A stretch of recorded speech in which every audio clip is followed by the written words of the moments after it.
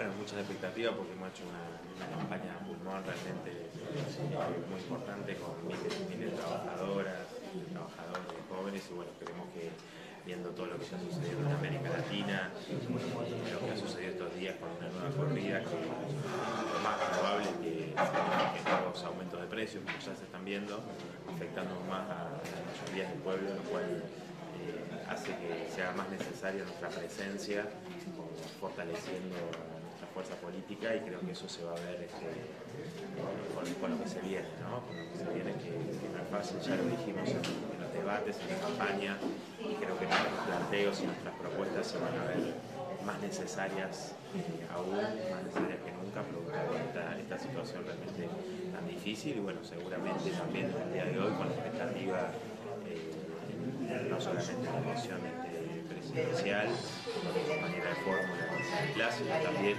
este, con eh, la expectativa de conquistar bancas en el Congreso Nacional. Así que, a ver, eh, es muy difícil preguntarse romper la vena, ¿no? Así que vamos a tratar de hacerlo. Eh, ¿Qué expectativas hay con respecto a lo que había pasado en las elecciones pasadas con respecto a la politización que se había dado? Ustedes habían hablado que se había perjudicado.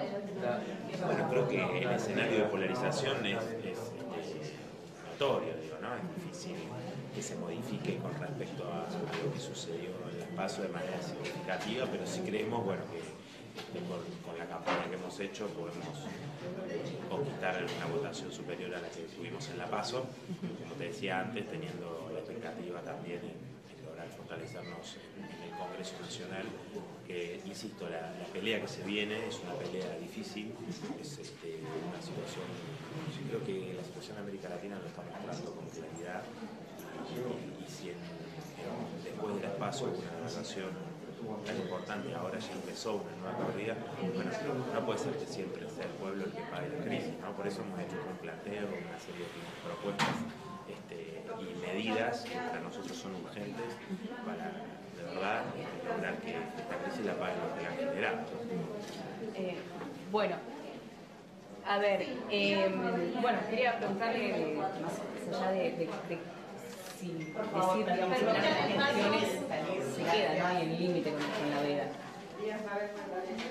No, me, me, preguntan aquí de, desde el piso si hay una cuestión que tiene que ver con hablar de lo que está pasando ahora, si de alguna manera fuera del límite con la veda. No, bueno, por eso creo que hay un límite con la veda, pero obviamente eh, referirnos, como te decía recién, a, a esta situación tan difícil que, que vive el país y que, como lo señalamos en las propuestas nuestras, ¿no? no hay ninguna fuerza política que esté planteando hoy las medidas necesarias para que esta crisis este, no la vuelva a pagar el pueblo. ¿no? Y eso es lo que manifestamos en los debates con nuestros planteos, con nuestras propuestas, en la campaña electoral y, y, se hace tan necesario fortalecer la izquierda en ese sentido. Me parece que, que, es importante tenerlo en cuenta a la hora de la votación. Bueno. ¿Cómo andan? Muy bien. La veo más corta que el otro día. ¿Se acuerda el número 2? El 46.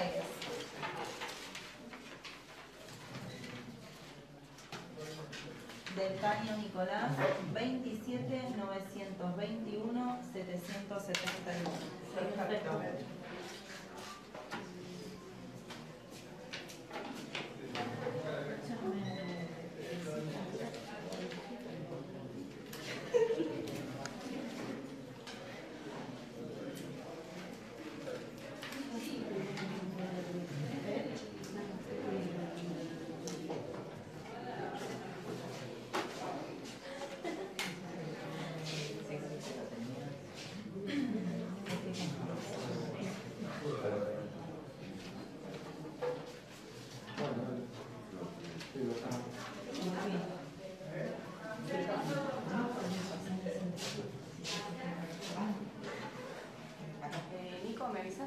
원천을 얻어